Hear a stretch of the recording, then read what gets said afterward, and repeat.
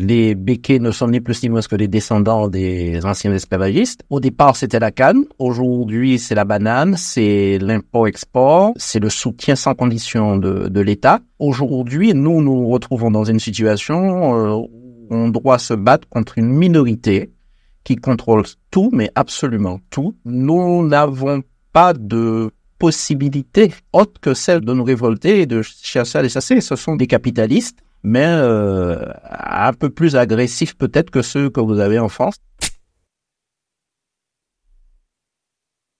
C'est une situation qui n'est pas nouvelle puisque il y a un peu plus de 15 ans, on a connu ce qu'on a appelé le mouvement de février-mars 2009, c'était aussi un mouvement contre la vie chère. 15 ans après, ça revient. Bon, on a une situation où on a des entreprises qui réalisent des marges exorbitantes. Il y a une absence de concurrence ou certainement en même temps des ententes entre certains. Et c'est un véritable racket qui est organisé au niveau de la population. On a des prix qui sont multipliés quelquefois par deux, trois face à des revenus de, de misère. Et c'est tout ça qui génère ce, cette situation, ce mouvement de révolte. Alors, ce mouvement social a débuté depuis le 1er septembre. C'est une initiative d'une association. Et la CGTM a choisi d'accompagner parce que au sein de ce de ce mouvement, euh, ce sont principalement des salariés, hein, ce sont des classes populaires.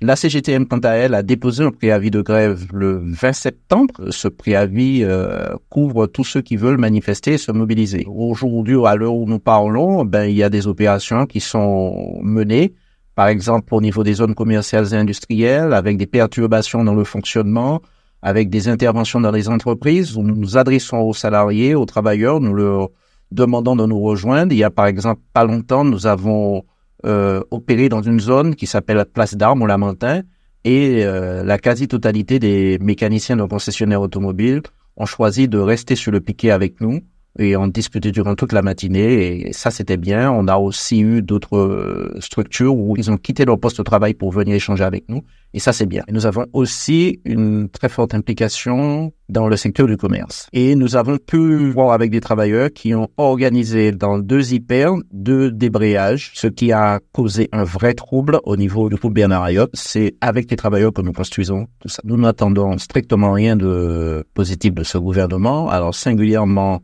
M. Rotailleux a cru bon de s'illustrer en menaçant, en faisant débarquer des centaines de CRS.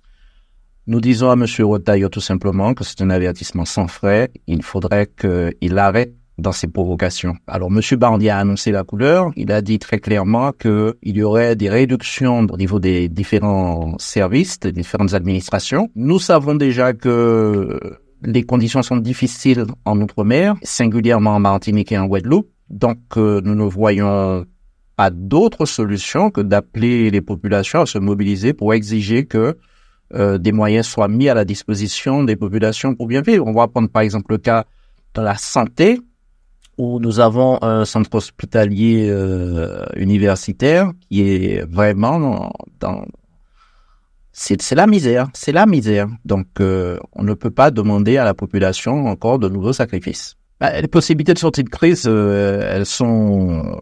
Il faudrait que les capitalistes lâchent parce que les revendications sont légitimes, les abus constatés sont non contestés et non contestables. Euh, L'État doit imposer aux, capitalistes de reculer.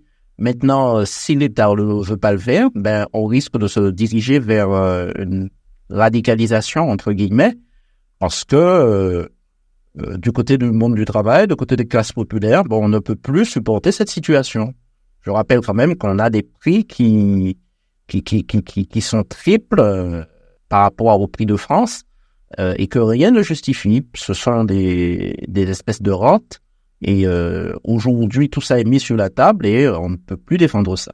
Nous avons une étroite collaboration avec la CGT c'est important parce que quand on se trouve en France, en, Guadeloupe, en Guyane, en Martinique, on est victime souvent des mêmes capitalistes.